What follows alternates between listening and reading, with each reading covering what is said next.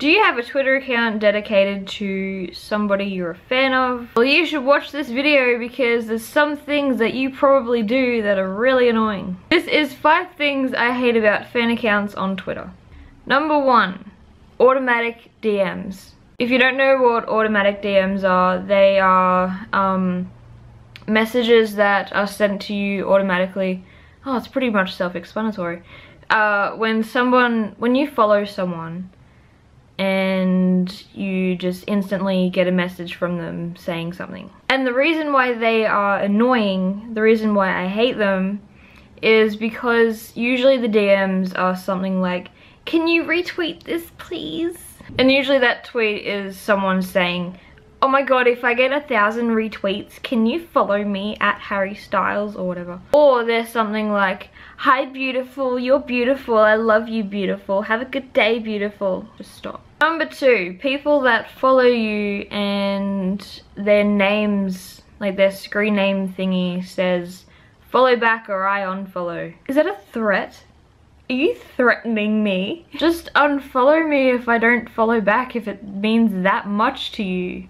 Uh, it's not gonna bother me. Number three, free follow accounts. Not all free follow accounts are bad, like I get um, that you want to help people get more followers and stuff. So the accounts that give you free follows, but then their main account has like tens of thousands, sometimes even hundreds of thousands of followers, and then they don't follow anybody back. They follow like 200 people, which is people that they're friends with or something like that. If you're gonna give someone a free follow and then ask them to follow your main account, then the least you could do is follow them back. Number four, people that spam their idol like there's no tomorrow when they're not even online. What's the point of spamming somebody if they're not even gonna see it? I see so many people um, spamming somebody. They uh, they count the number of their tweets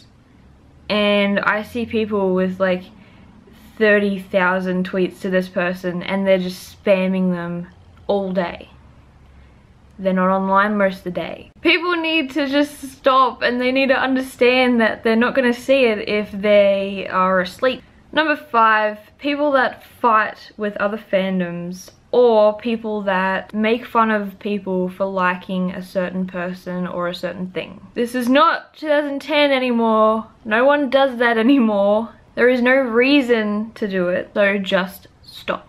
Thank you. Anyway, that will be it for this video. I hope you enjoyed it, and I hope now you will learn to not do all of these things. It really annoys people. you can see it annoys me, and yeah, a lot of these things are just, actually most of these things are unnecessary. So yeah. Anyway, if you like this video, make sure to give it a thumbs up and subscribe if you want to see more of my videos. And until next time, goodbye.